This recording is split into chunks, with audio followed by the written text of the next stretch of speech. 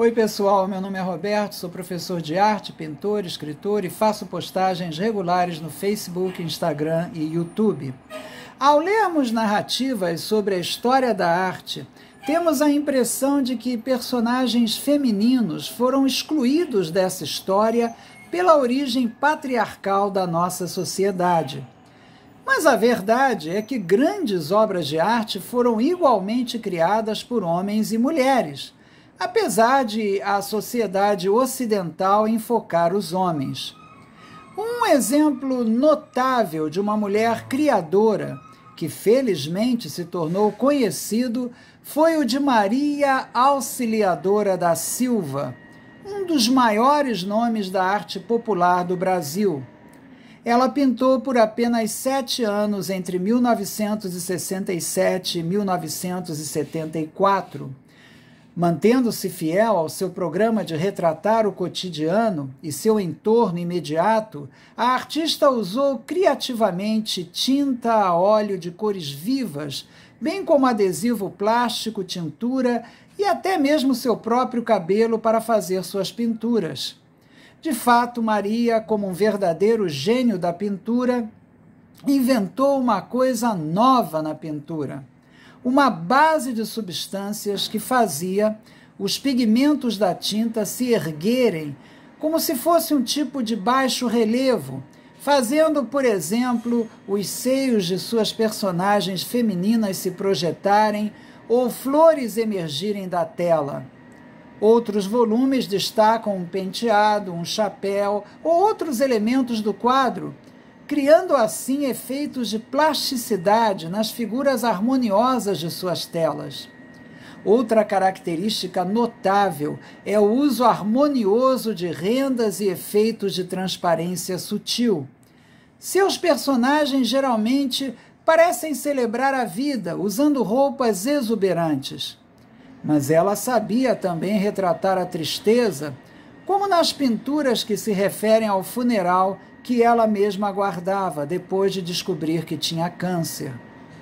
Os temas centrais de Maria eram as religiões afro-brasileiras, os autorretratos, casais, o mundo rural, o mundo urbano, os interiores e eventos populares.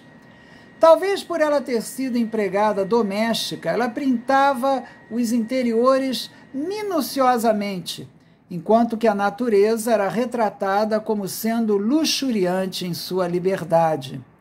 Ela frequentemente pintava as simbioses entre humanos, plantas e animais na periferia da cidade, um eco nostálgico de Minas Gerais, onde ela nasceu. A habilidade de Maria no bordado transparece nos vários motivos, flores e padrões de cada pintura. E, por falar em características, a obra de Maria destaca também o movimento. Seus personagens muitas vezes se agitam no, num frenesi de luzes e cores. Através de suas pinturas, ela celebrou o cotidiano e as formas de sociabilidade das manifestações populares.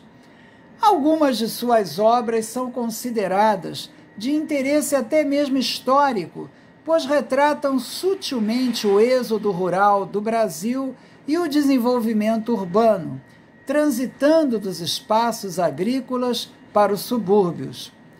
E falando em desenvolvimento urbano, talvez vocês estejam escutando essa barulhada no fundo, que é o caminhão carregando, ou melhor, recolhendo lixo. Outro aspecto interessante da obra de Maria era o uso de balões com textos derivado das histórias em quadrinhos, que é um exemplo óbvio da influência urbana na arte de Maria.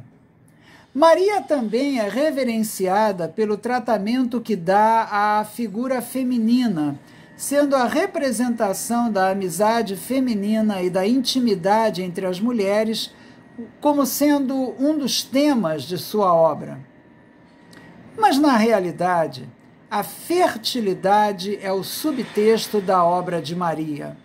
A fertilidade dos campos, a fertilidade da mulher, a fertilidade dos ricos padrões que ela criava em seus quadros energéticos. Ou seja, o acúmulo de elementos de seus quadros, longe de ser um recurso chamativo, brota espontaneamente da fertilidade de sua obra. Nos dois últimos anos de vida, ao lutar contra o câncer, Maria registrou cenas de extrema unção, hospitais, ambulâncias, velórios e até enterros. Apesar da excelência de suas obras de temas fúnebres, Maria sempre será lembrada como uma autora genial de obras que celebram a vida. Suas cores ecoam as combinações de cores do interior do Brasil. O Brasil dessa artista que criou uma obra de arte verdadeiramente universal por espelhar sua própria condição humana.